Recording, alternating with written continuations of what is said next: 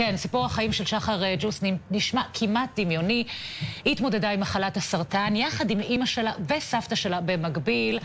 עכשיו כל המשפחה מגייסת כוחות כדי להשתתף במרתון בינלאומי ולגייס כספים לילדים חולי סרטן. איתנו שחר ואימא שלה עידית, מה שלומכן? מעולה, תודה. אז איך זה מתחיל, האירוע הזה? האירוע ההבנה שלי? לא, אירוע בכלל, כי אתם בדורות. מי ראשונה? האמת שאימי, אה, הסבתא הייתה הראשונה בעצם, שהתגלתה, אובחנה כבר בפעם השנייה. אה, לא ממש ידעו מה לעשות, אז בינתיים זה היה בכלל בסוד. בשמירה, אף אחד לא ידע, רק, רק חלק מהילדים, אנחנו ארבעה אחים. ואיזה סרטן היה לה? אה, התחיל בסרטן שד, וכנראה בפעם השנייה גם היה שייך לסרטן שד. אה, לא ממש ידעו אפילו, ממש לא ידעו אפילו איך לטפל, לכן אה, ככה די... אה, פשוט לא ידעו מה לעשות. והייתה כבר לא במצב אה, דמנטיבי, הייתה במצב דמנטיבי. ותוך כדי זה פשוט אה, יום אחד אה, שחר אה, באה ומספרת שהיא מרגישה מאוד מאוד לא טוב. הייתי ממש ממש חולה, הייתי, בדיוק עשיתי שנת שירות. אה, הייתי מאוד מאוד חולה במשך חודש שלם, אה, כאבי בטן, הקאות, שלשולים, כל הכיף של בעיות בבטן. הלכנו להיבדק אצל הרופאה, אה, והיה לי גוש נורא גדול כבר בצוואר. כשהטאתי את הצוואר, פשוט היה פה כדור טניס אחד ענק. אז הלכנו לבדוק גם את זה, ובאולטרסאונד התגלו שלושה גושים, שהיו לי גם מעל קנה הנשימה. ומהאולטרסאונד ללכת להבחנה, ביופסיה, סרטן, ואז, את מגלה, ואז אתם מגלים, אה, שחר, שגם אימא שלך. נכון, אני כבר נכנסתי לטיפולים בינתיים, לטיפולים כימותרפיים. אה, תוך כדי גם סבתא שלי כבר נכנסה לטיפולים בבית חולים, לכל מיני טיפולים ניסיוניים למיניהם.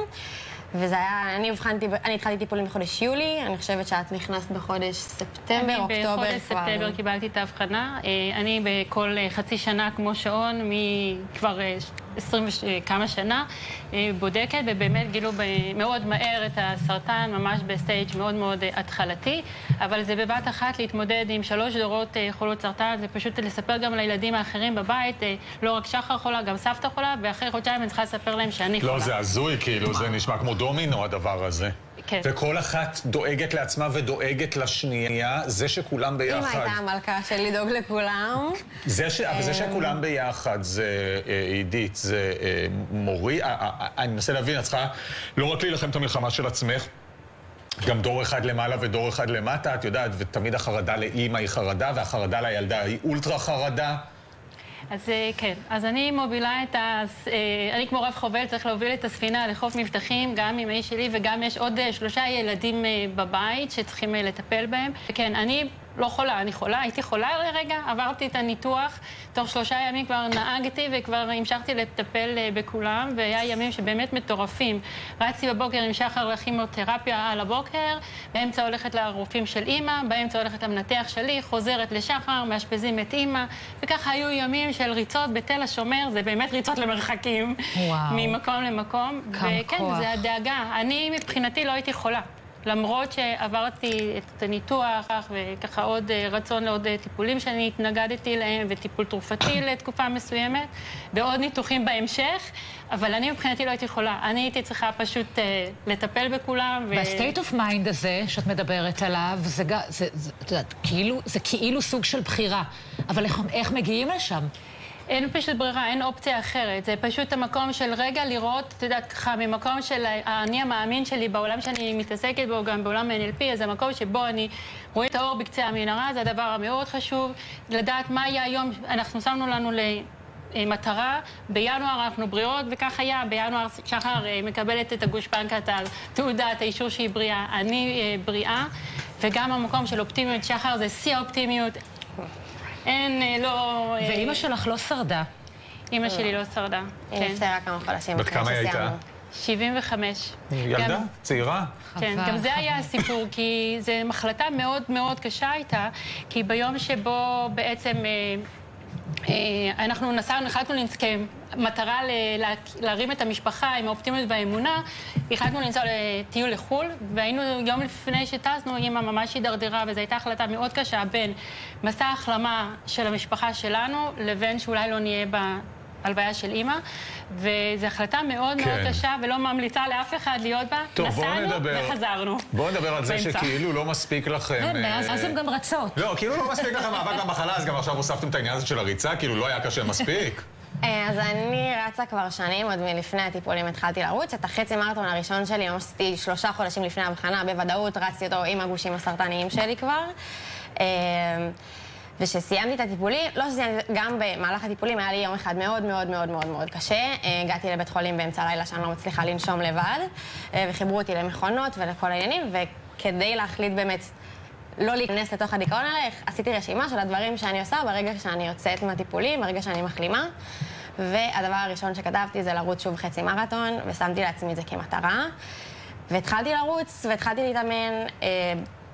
אה, ב-22 לינואר אמרו לי שאני בריאה, חודש אחר כך היה מרתון תל אביב. זחלתי את החמישה קילומטר, בקושי הצלחתי ללכת אותם.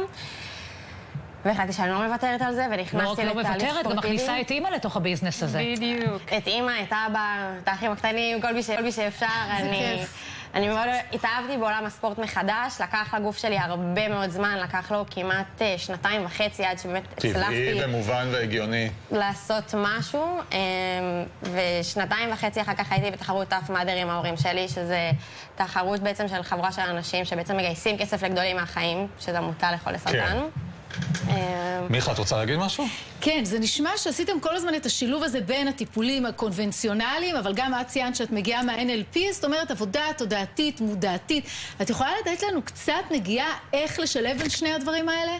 אז קודם כל, באמת במקום של uh, לראות את האור בקצה המנהרה, את אותו דבר של איך אני אהיה ביום שאני בריאה בו, יום, ש... יום למחרת, גם מטרות קטנות לאורך כל הדרך, המון אופטימיות, המון אמונה, לדעת שיש לנו את כל המשאבים כדי להצליח, וזה באמת המקום שבו יש לנו את היכולת, לדעת שגם אם עשינו משהו ולא הצלחנו לגמרי, לא נורא להלקות את עצמנו, יש אפשרות אחרת, זה ממש ככה להיות מחוברים לכל המשאבים, עשינו את הכל, את הטוב שאנחנו יכולים. אבל בעיקר בקצרה, אה, אה, איך מוותרים על המקום שהוא הכי, את יודעת, הוא הכי ברור, הקורבני, של למה לי זה קרה.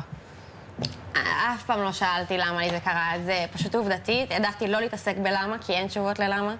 אמ, לא אם זה גן, יש לנו משהו בגנים, ולא אם זה פשוט המציאות, או זה לא משנה. עובדה, יש לי סרטן, עובדה, צריך להתמודד עם זה. עובדה, אני אצא מזה בריאה ואני אהיה בסדר, כאילו זה מבחינתי מטרה ששמתי לעצמי, ושמתי הרבה דברים בדרך בשביל להתכונן אליהם, אה, והריצה היה הדבר הכי גדול. עכשיו אני מתכוננת למרתון, אה, שאני אעשה אותו ממש עוד חודשיים בפריז. אה, גררתי את אבא ועוד כל מיני חברים מהטף, ואנחנו טסים.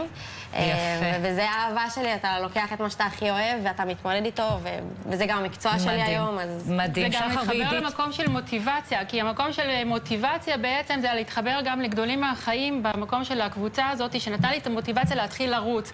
כי לרוץ זה שזיפי. אבל ברגע שיש לנו את המוטיבציה של מטרה נעלה למען גדולים מהחיים, לאותם ילדים קטנים שמתמודדים עם מחלת הסרטן, ומקימים לנו גן ילדים למען אה, שיוכלו לבוא כן. באמת לגן, אז זה מה שאנחנו עושים. הקבוצה הזאת, שאנחנו מתרימים לאותם ילדים, כן. ואנחנו מקימים גני חלומות למען גדולים מהחיים. שחר ועידית, אתן נסיכות אמיתיות ואלופות אמיתיות. תודה שדיברתם איתן, רק, רק בריאות.